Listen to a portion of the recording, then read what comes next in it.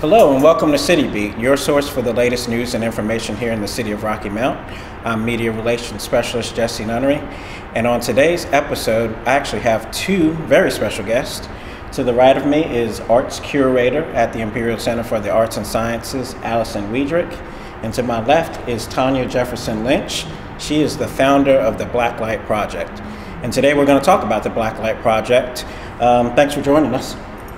Welcome. Thank you for having me. All right. Allison, I'm going to start with you actually. Um, back in 2018 and 2019, you did a lot of work to bring the Blacklight Project here.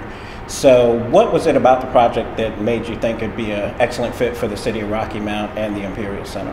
Wow, that's a that's a big question. So I think first and foremost it was Tanya. You know, we met sort of serendipitously. She was here for another event, and we connected. And so I just really loved that the energy that she brought to the project.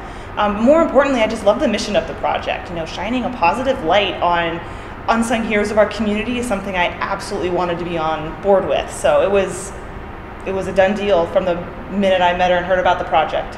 And since then, we've had uh, 13 subjects, is it?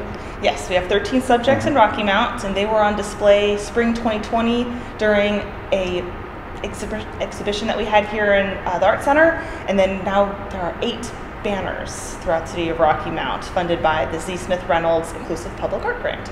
And that Z. Smith Reynolds grant was really important in getting the uh, project out to the city facilities and getting our subjects out. I know Yes. the public has probably seen them at Rocky Mount Mills Mm-hmm. and here in front of the Imperial Center and other city facilities. So, what do you think that has done to um, help aid the project?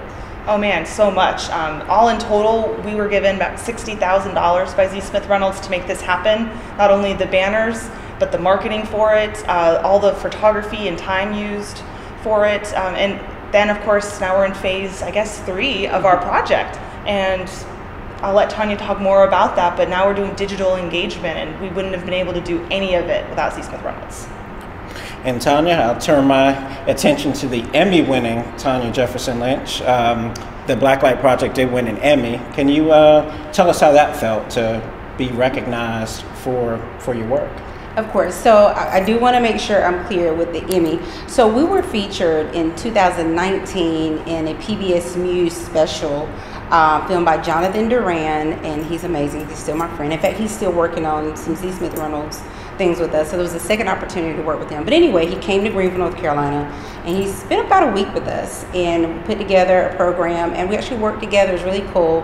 And that interstitial, you know, what you know all about, that interstitial won an Emmy, and we were able to be there and hear our name called the Black Light Project. So it is a documentary on the documentary that won the Emmy, and I was very proud of that moment. It was really cool because my husband and I went to Tennessee. We got all dressed up, got really fancy, and we got to hear that you know our names called. It was just really, really cool. But I got to give props to Jonathan Duran. Um, being a part of that work has just been amazing for exposure for us, amazing for exposure for good things that are happening in the black community and with black males and great conversations. So it's meant a lot, not only for the work that we do, but just in general talking about um, messaging and messages of black males, especially in southern states and in the southeast. Right. And this is your second time doing the project. You, you did a project in Greenville to start, is that right? Absolutely. And now you- you've been in Rocky Mount for about two years. So, what have you learned about this community and these subjects particularly? Okay, so I am from Greenville, from Pitt County, which is 45 minutes away. And so I've been to Rocky Mount. You know, when I was younger, I used to come to Rocky Mount. So I'm not, uh, Rocky Mount is not unfamiliar to me, but I didn't know in this way. So when I came, I knew there was this beautiful place, Imperial Center, and I was just kind of hanging out for something else, as um, Allison stated. And along the way, I've learned just so much rich history. Like even literally, like maybe a couple weeks ago, about the Black Business District. I didn't know about that. You know, I didn't. Very early on, I knew Dr. Martin Luther King had given the "I Have a Dream" speech, but I had no idea where it was located. And it was an honor to stand in that gym and know that prior to what we know as you know the March on Washington, that this had taken place um, in this very intimate forum. Now that we think about you know the size of that crowd versus the crowd in Rocky Mount, that that took place here, and it was really amazing to understand this rich history here. And that um, I remember Rocky Mount being City on the Rise. That's how old I am, and I don't know if that's still the, the logo or not. Is, has it changed? It's changed a little bit. It's changed Yeah, a little, bit. yeah, okay, yeah. so it was City on the Rise, uh, you know, years and years ago, right?